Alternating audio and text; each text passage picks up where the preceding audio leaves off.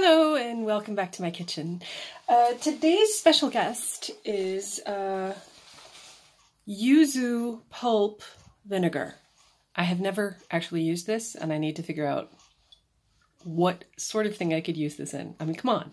Yuzu pulp vinegar? Only I would have that. Anyway, so uh, I welcome back to my kitchen and vinegar and baking bread in Lyon by Bill Buford.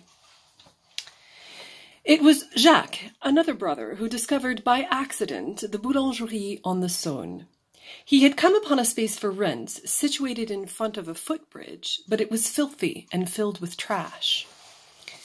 He investigated. Two floors, thick stone walls, a worn stone staircase, and in the back an old wood burning oven. He wiped off the soot. It said 1802.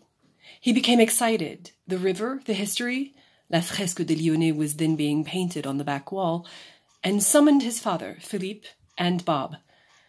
My father looked at the property from the outside and said, Yes, this is a good boulangerie. Bob told me. Bread has been made here for a long time. The family bought the boulangerie for what was then about $11,000 and got it ready. It was probably I couldn't help keep myself from thinking the last time the floors were cleaned. Bob returned to Paris, and a sign went up Philippe Richard, artisan boulanger. But it seemed unlikely that Philippe intended to remain. He had a family and a business in Nantes, eight hours away. He called Bob. Quit your job, he said, and come run the boulangerie with me. In effect, he was beginning Bob's training, what in French is called a formation, helping him find his calling. Without Philippe, Bob said, I would be nothing.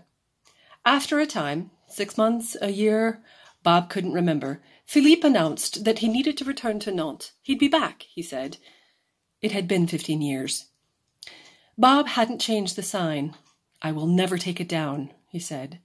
From our balcony, with a mountain breeze coming off the Saône, the smells of the boulangerie were inescapable. When you live here, you have no choice.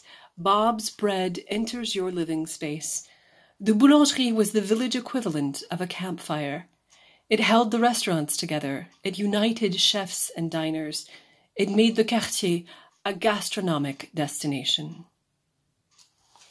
Hope you enjoy. Join me for the next installment.